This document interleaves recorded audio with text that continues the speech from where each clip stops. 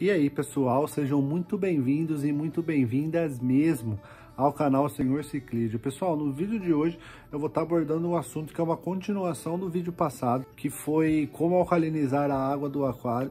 Nesse vídeo de hoje eu vou estar dando a continuidade de como você acidificar a água do aquário, tá bom? Se você perdeu o conteúdo do vídeo anterior, volte lá, eu vou estar deixando aqui na descrição do vídeo e no primeiro comentário fixado Volte lá para você conferir, para você ter um embasamento aí das duas coisas. E é isso, tá bom? Antes de mais nada, antes que o senhor ciclista esqueça, antes que você se esqueça, se inscreva aqui no canal, ative o sininho das notificações e desce o dedo no like para que o YouTube entenda que esse vídeo é muito relevante para toda a comunidade do aquarismo e para que você possa ajudar o canal a crescer cada vez mais e a gente continuar fazendo vídeos tops, conteúdos relevantes para vocês. Fechou? É isso aí, pessoal. Fique aí com esse conteúdo, hein?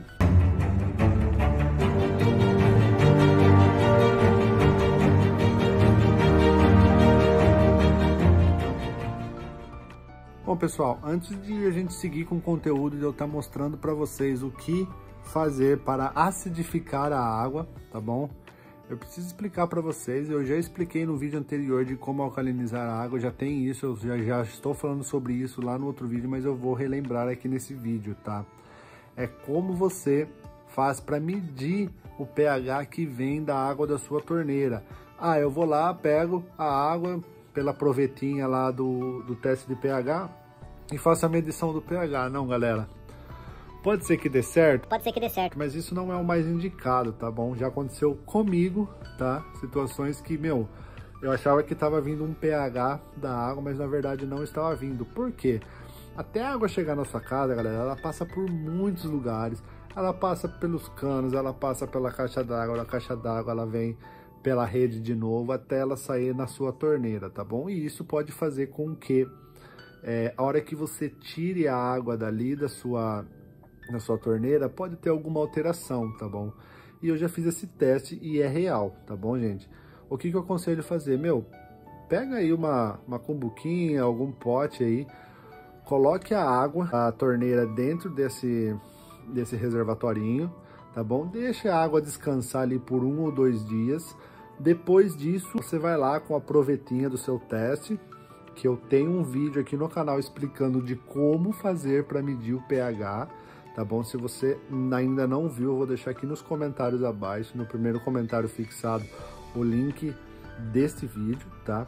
Aí você vai lá, pega essa provetinha, faz o teste de pH e vê qual que é o pH que está saindo da sua torneira, tá bom?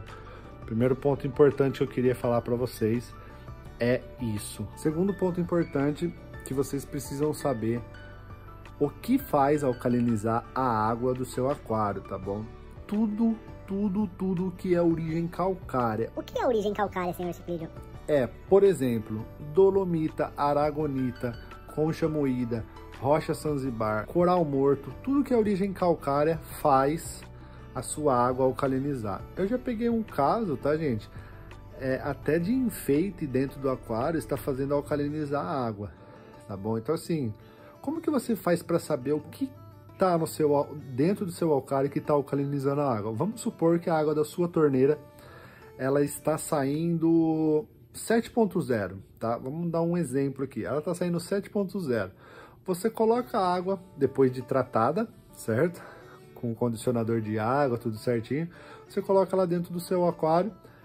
A hora que você colocou, ela tá 7.0. Só que a hora que você vai medir o pH, ela tá, por exemplo, tá 7.2, 7.5 fala, caramba, mas eu tirei a água do aquário, fiz todos aqueles testes de deixar a água descansar tudo certinho, e mesmo assim a água tá ficando alcalina. O que que pode ser? Como que eu faria, tá bom? Por exemplo, vamos supor que você tem um enfeite dentro do seu aquário ou alguma pedra, alguma rocha, sei lá, alguma coisa dentro do seu aquário. Eu pegaria esse enfeite, por exemplo, que a gente tem um enfeitezinho lá de um navio dentro do seu aquário lá, tá bom? Eu pegaria esse, esse, esse enfeite, compraria, né? Na verdade eu já tenho, que é aquele teste ACID da Labicon, tá? Que que, que eu faria nesse caso? Eu pegaria esse, esse enfeite, pingaria algumas gotas nesse enfeite ou na rocha ou em qualquer lugar que você quer validar se é aquilo ali que está alcalinizando a água. Pingaria algumas gotas ali, você vai ver que vai começar a borbulhar, tá? Como se fosse é, um, um eno, sabe o eno quando você joga o produto e ele começa a borbulhar?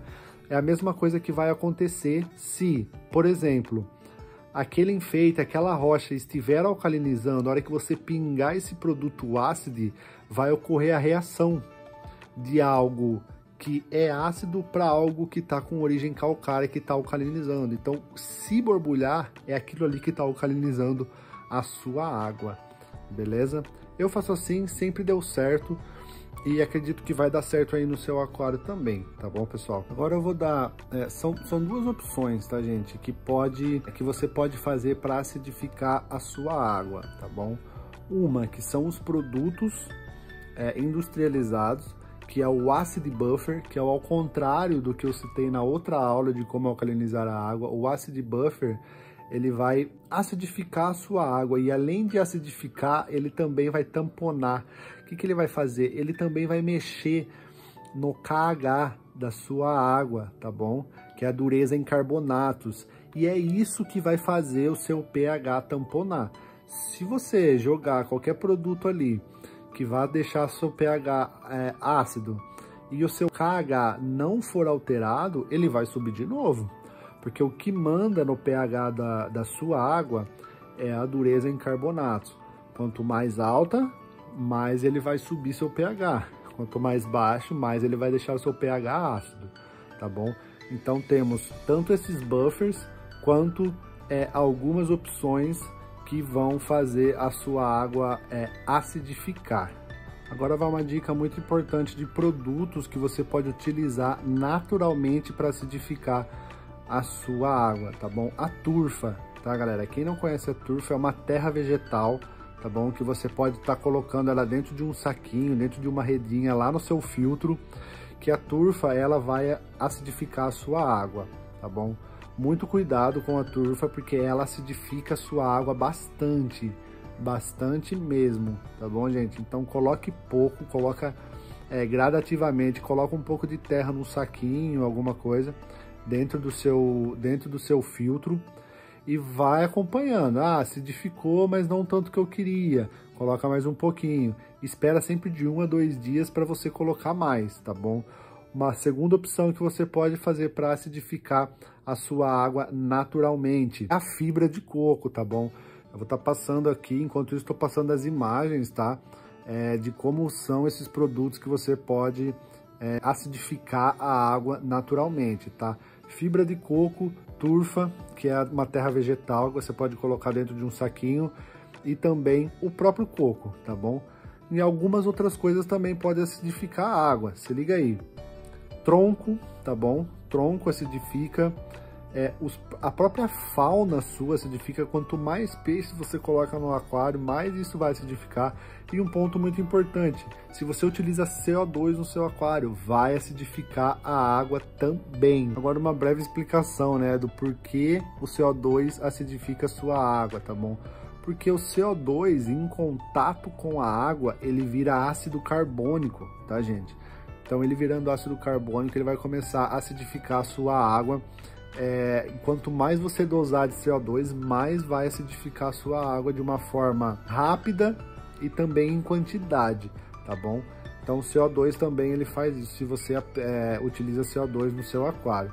Ou seja, resumindo, tudo o que entra em decomposição na água do seu aquário vai acidificar a água. Então, galera, é, a hora que você for usar esses produtos naturais, principalmente turfa, o coco, é, todos esses produtos que eu acabei de falar para você, use gradativamente, tá, galera? Senão você vai acidificar demais a sua água e vai ocorrer de matar até planta, tanto fauna, tanto flora. Você pode matar todos os seus peixes, suas plantas, se você acidificar muito essa água. Agora, ponto importante que eu preciso falar, já comentei no vídeo anterior, eu preciso falar de novo.